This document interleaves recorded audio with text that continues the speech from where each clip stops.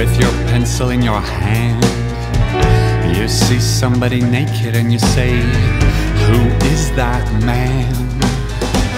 You try so hard, but you you don't understand just what you say when you get home. Because something's happening here, but you don't know what it is. Do you, Mr. Jones?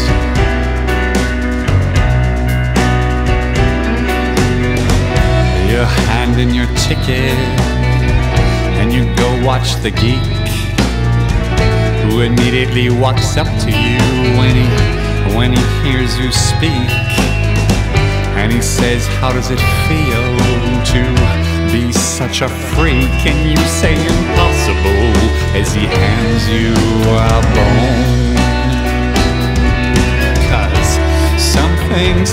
happening here but you don't know what it is do you Mr. Jones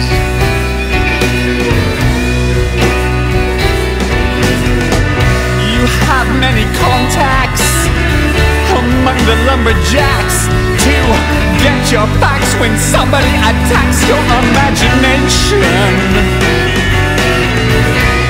Nobody has any respect. Anyway, they already expect you all to give a check to tax deductible charity organizations.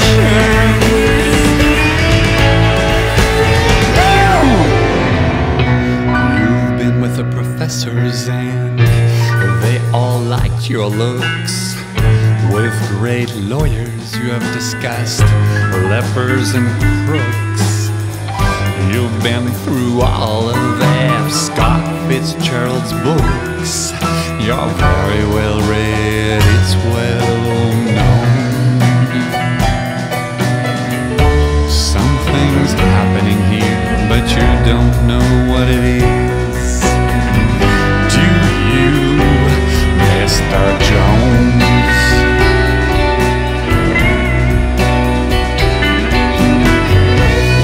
sword swallower, he comes up to you and then he kneels.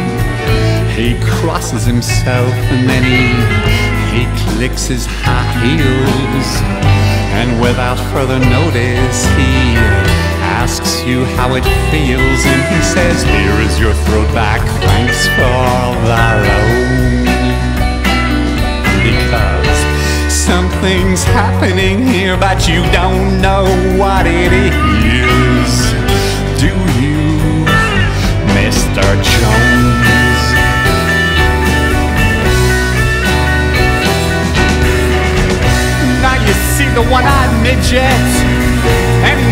shouting the word now. And you say for what reason, and he says, well, he says how. And you say, what does that mean? And he, he screams back, you're a cow. Give me some milk or else go home. Cause something's happening here, but you don't know what it is.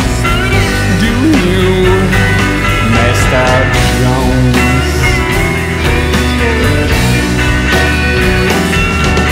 Well, you walk the room like a like a camel and then you're frown. You put your eyes in your